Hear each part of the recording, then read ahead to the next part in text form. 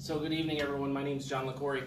Um, I just want to say I'm not affiliated with anybody or anything except myself. So there's lots of uh, different organizations locally, like the Center for Mark Twain Studies. You know, if you're interested in the topic, but I'm not affiliated with them. So this is uh, I use them as a resource as I develop this presentation to talk about Mark Twain.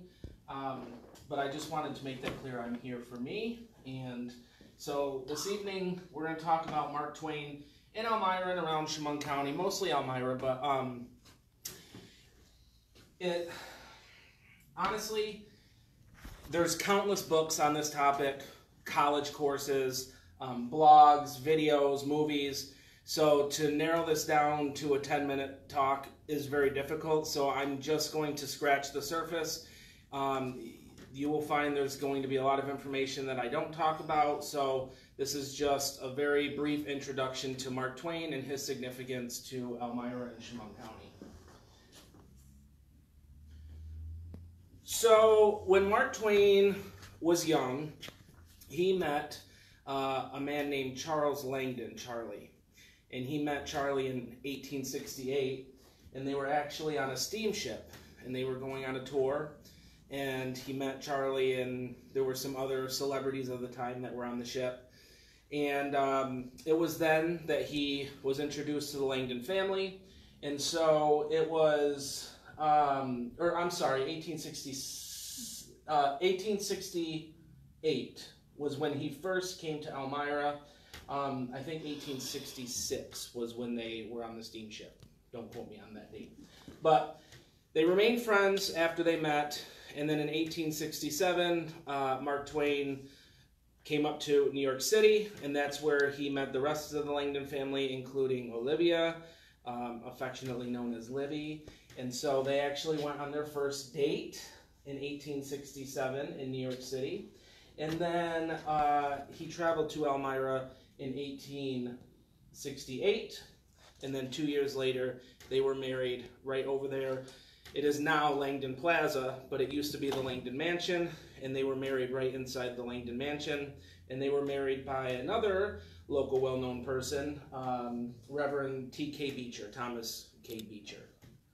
And so in 1871, uh, Mark Twain made his permanent move to Quarry Farm for the summer. Um, I will say he was only in Elmira for summers for most of the years. And in the 1890s, he didn't spend a lot of time in Elmira. Um, but after that, he did come back, and um, I think 1907 was the last time that he came to Elmira until he passed away, and then he was buried here. So that's kind of a brief synopsis of him coming to Elmira, spending time here. Um, a question that people often have about Mark Twain is what was written in Elmira? You know, he's known for so many works of uh, literature, novels, short stories, um, newspaper articles. And so people want to know what was written in Elmira. So here is just a brief, there are more, but these were the major works that were partly written in Elmira. He never wrote anything fully in Elmira, um, but the majority of these works were written right at Quarry Farm in his study on the hill. So in 1871, he finished the book Roughing It, and uh, a majority of that was written in Elmira. In 1880, he finished The Prince and the Pauper, and so a good part of that was written in Elmira. In 1883, he finished The Adventures of Huckleberry Finn, which is probably that and Tom Sawyer are his two most notable works. And that was partly written in Elmira. And then in 1889, he finished A Connecticut Yankee in King Arthur's Court. And that was partly written in Elmira as well. And like I said, important to note that Twain lived in Elmira only in the summer. Quarry Farm was his summer getaway, um, and these books were not written in Elmira in their entirety. There's a picture. Picture is worth a thousand words. So you see Mark Twain there in his study. If you go up to Quarry Farm now and you go to the spot where the study was, all you're going to see are trees. That's it. But it's important to note that when Mark Twain was alive, the trees weren't there as much. So you could see off the hill, you could see the entire city of Elmira. And um, if you're at the front of Quarry Farm, you can still see some of that, but it was a much better view during his lifetime than it is now, although it's still beautiful. Um, but then I don't remember the date. Boy, I want to say the 1950s. I could be wrong. They moved um, the study from Quarry Farm to Elmira College, where it is today. And so when you go up there, there's a marker, and there's kind of you can tell that there was a study there. Um, but so that's him at his study. I don't know what year that was. Um, I did take a picture from uh, the Center for Mark Twain Studies website. So Mark Twain in society, when he was in Elmira, uh, Mark Twain made use of Elmira in many ways. He banked at the original Chemung Canal Trust Company, which is now the Chemung Historical Society.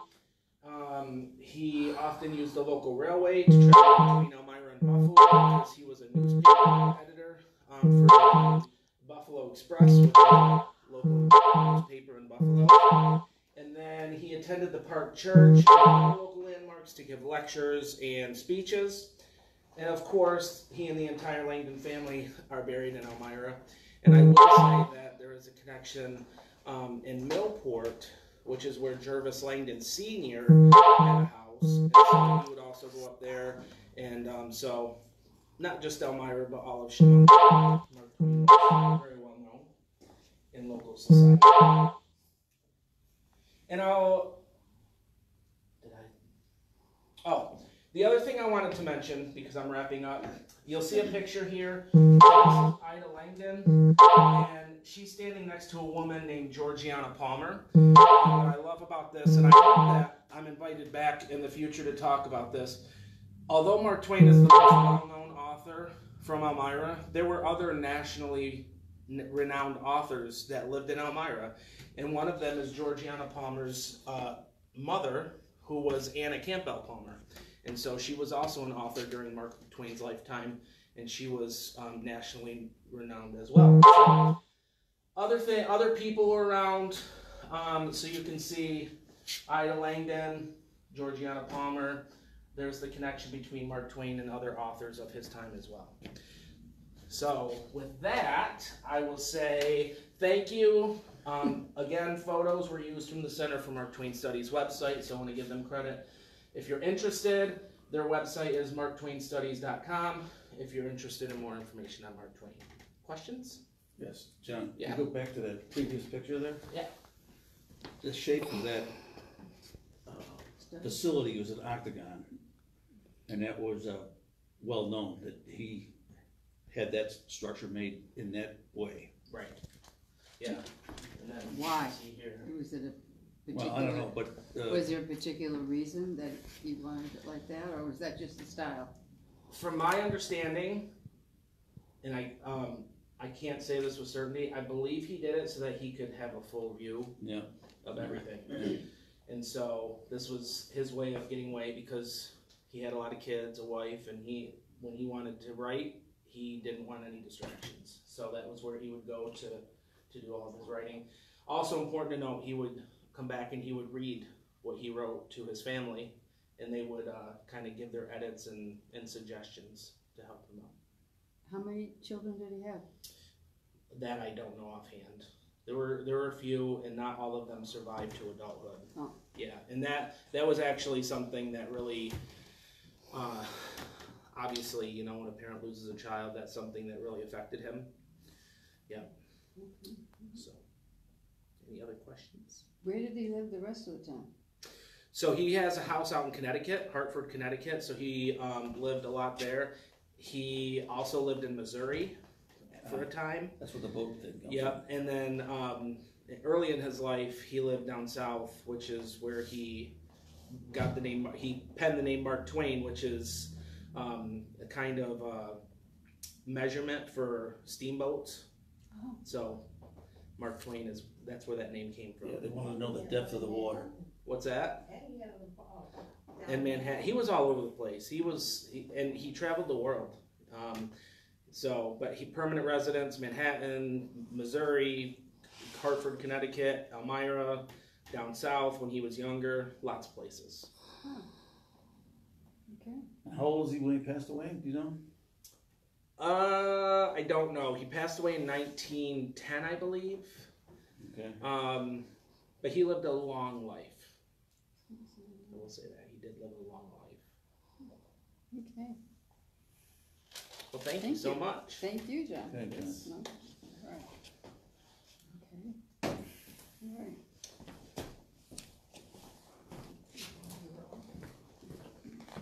Okay, uh, uh, Felicia Aaron, Director of John W. Jones Museum. Talima. Talim. Talima, sorry. Thank you. And I'm gonna use all of the props you have.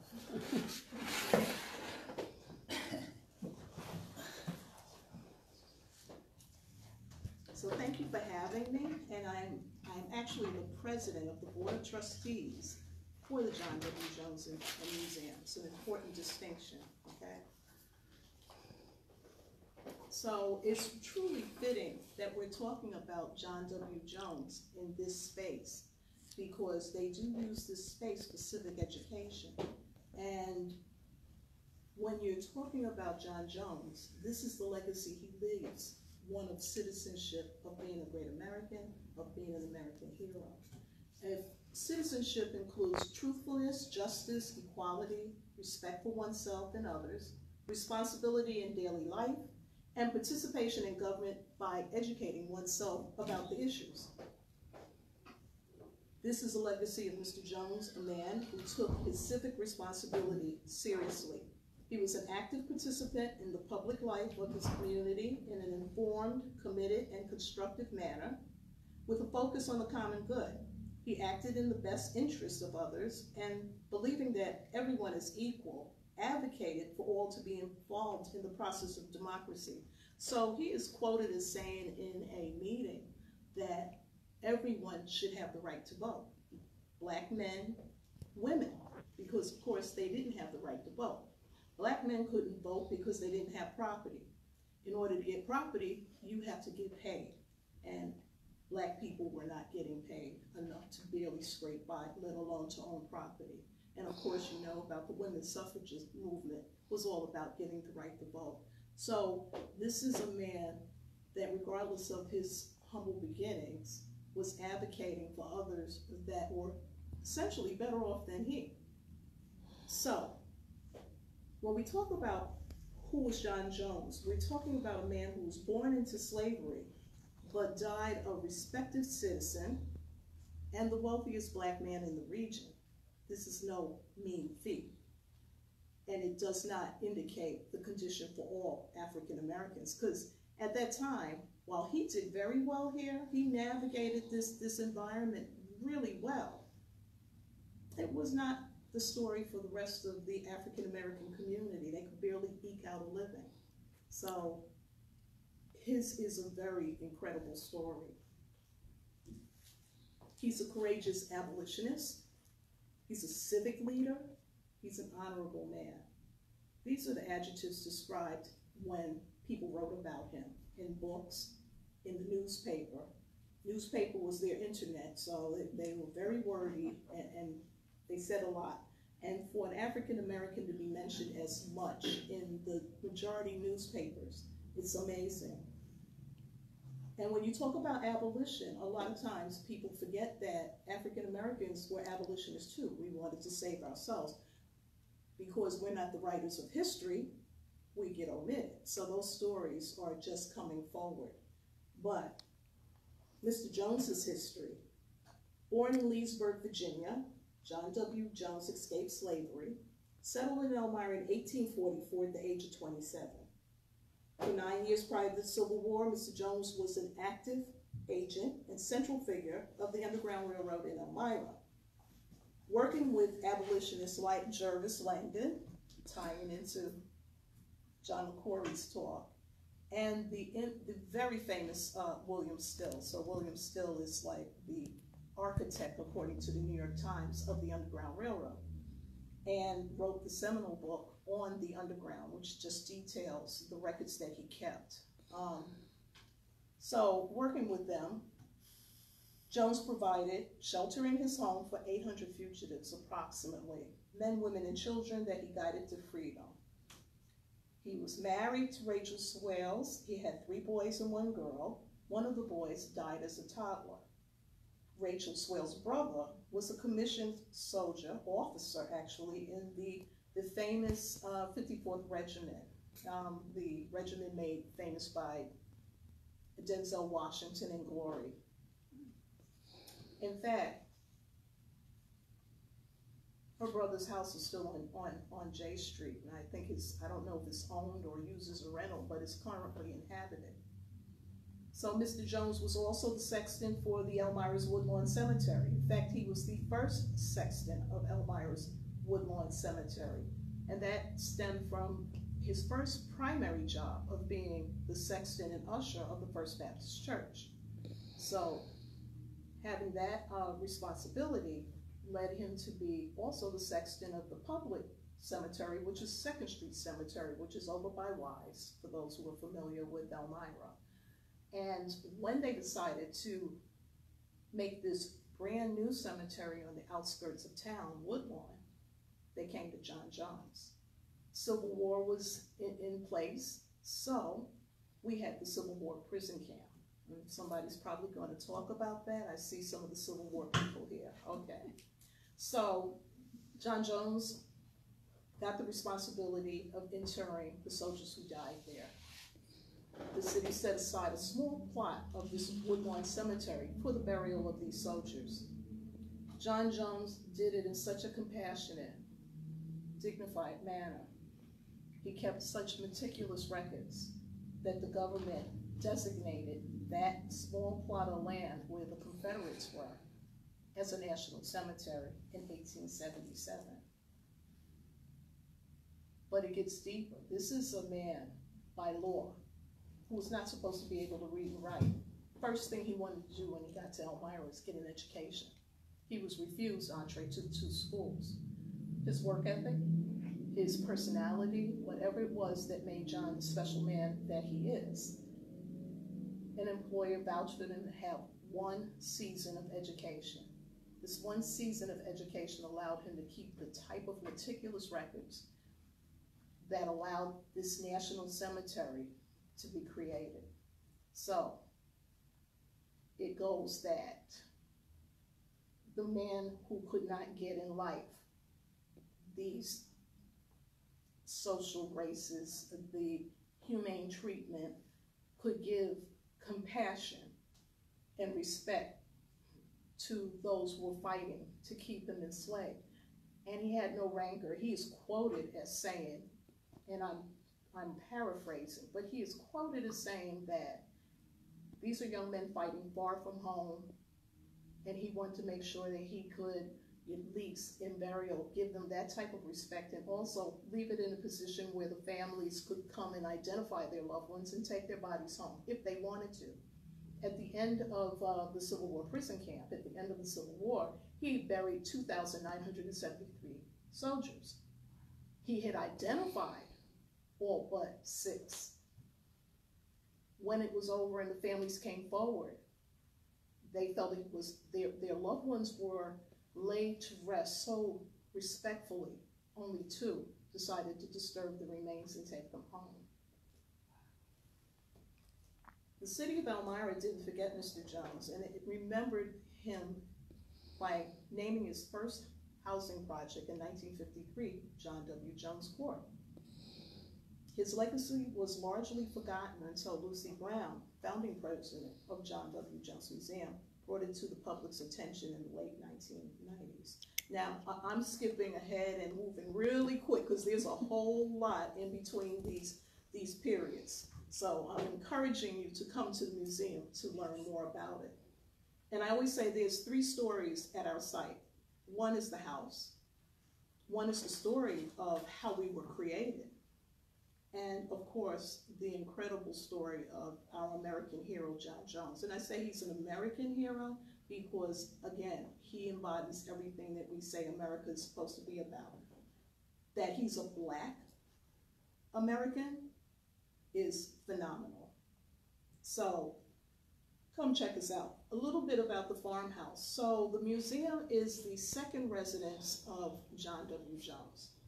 It was the house in which he lived and died.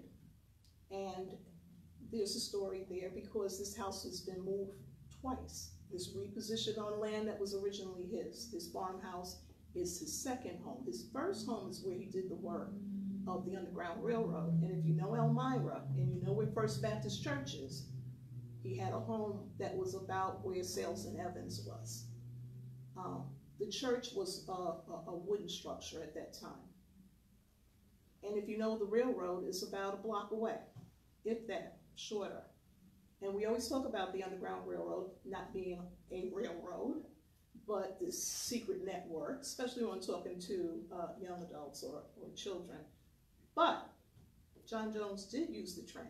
He, he used it so much, in fact, they call it the four o'clock freedom baggage train for him. When First Baptist wanted to build the beautiful new big brick building that we have now, that still exists in Wisner Park, they bought his house back. They absorbed the land and they built.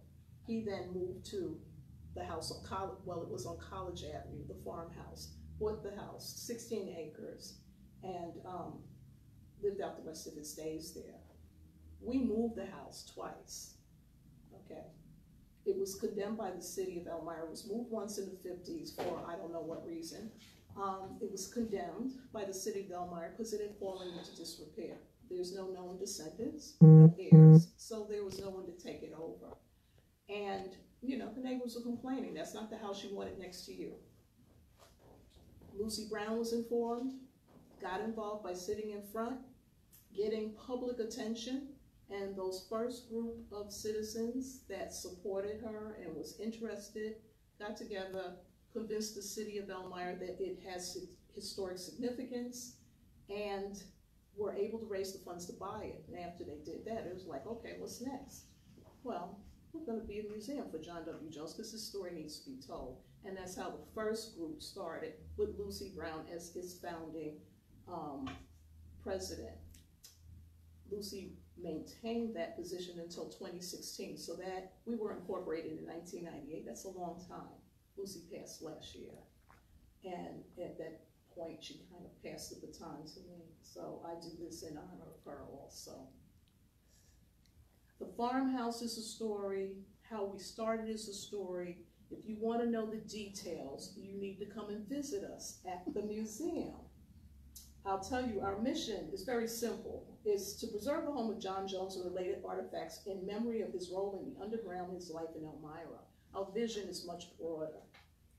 So our vision is to explore its impact on local and national history and Elmira's role in protecting the freedom of those who escaped slavery in the period surrounding the Civil War. So Elmira was a growing, bustling town, and it was the place to be other than New York City. It was in Buffalo, Rochester, Syracuse. Elmira was what was happening.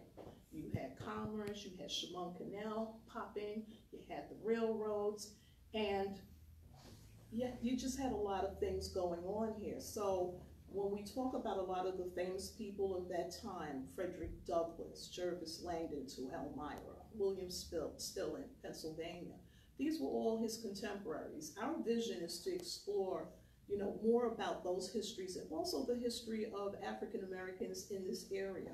John Jones Museum is the only place where a diverse point of view in the cultural landscape is discussed in the surrounding counties and Elmira.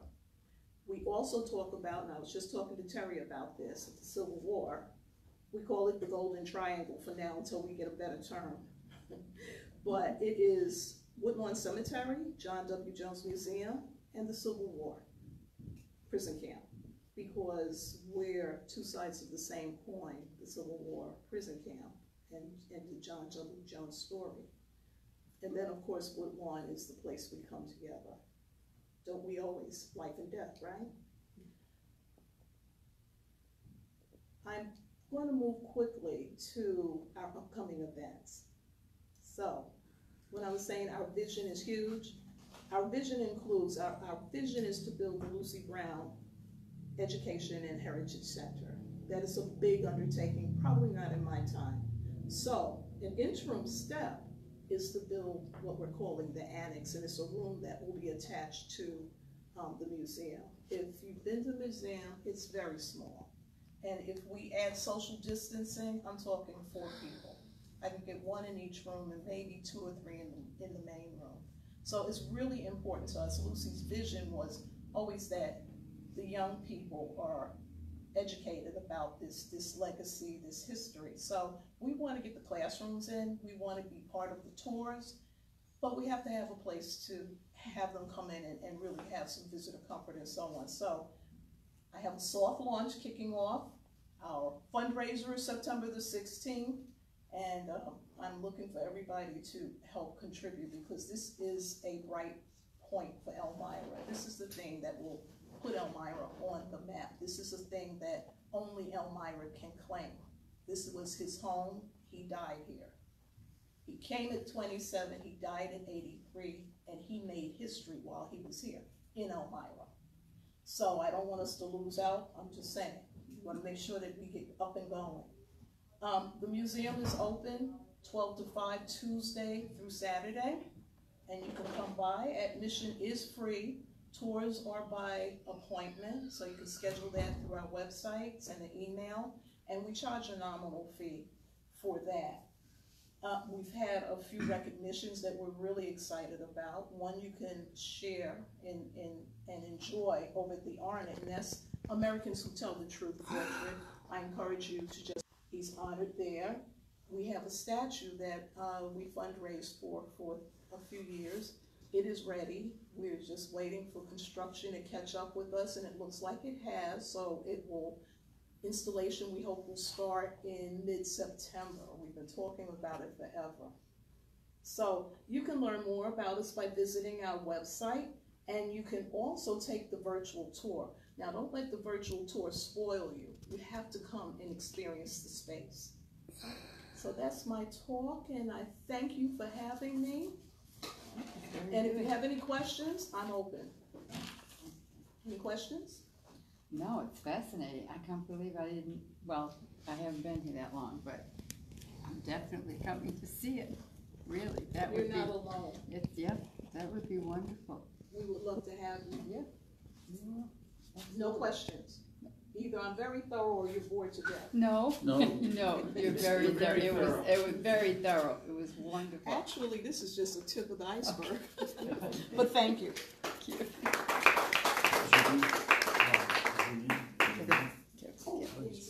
E R L E Y. Get that ready to go. Okay. Now we have uh, Kevin Early, historian for Chemung uh, Civil War Camp. Kevin? Well, hello there. Um, so my name is Kevin Early.